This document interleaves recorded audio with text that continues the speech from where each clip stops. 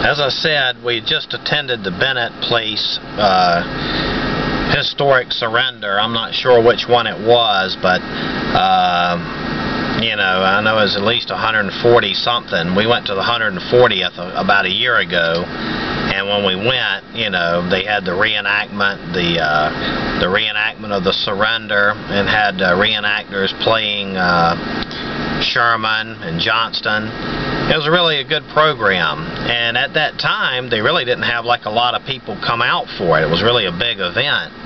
Uh, but now with the economy the way it is, I mean, there was tons and tons of people at this event. You know, it was hard to get parking, and it's only 1.30 now. We got there about 12.30, stayed approximately an hour, and I don't know, it was really bad. Like I said, they hadn't mowed the grass in the field where they normally set up the encampment.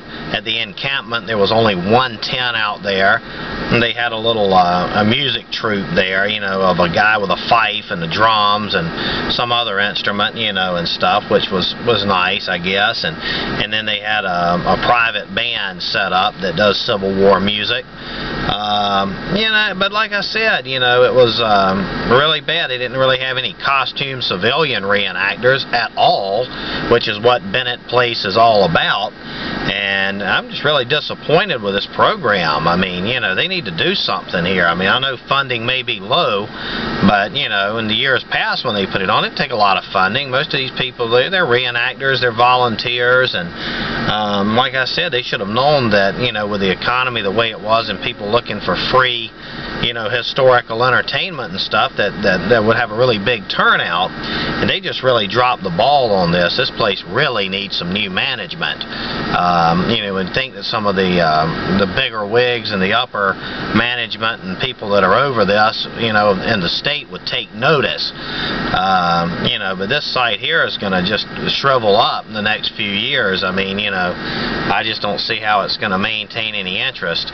It's really sad, but you know, something needs to be done uh, to preserve this history. It's certainly not being done by the management and the people that are over this now. And um, I think the best thing to do is, you know, contact, uh, you know, I don't know how good it'll do, but, you know, just people that are tired of this, contact the governor's office and, and you know, file some complaints and stuff about this because it could be a lot better.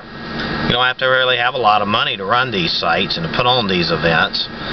So, you know, we definitely need to do something, uh, those of us who care about history.